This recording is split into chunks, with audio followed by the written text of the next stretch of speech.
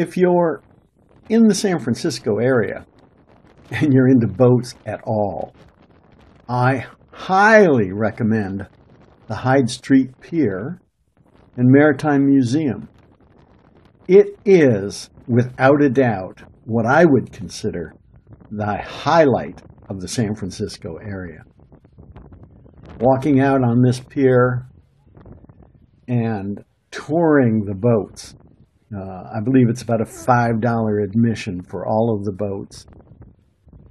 Just gives me tingles up my spine.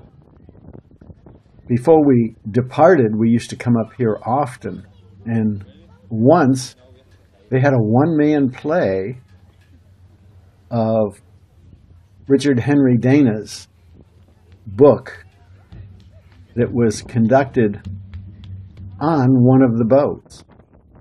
You can go up and into the Balclutha that rounded the horn.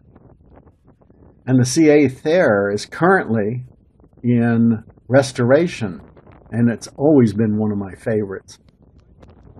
They even bring kids here, and they get to spend a night on the boat and well chaperoned to see what life at sea used to be like. This is a great place to visit and one of my absolute favorites.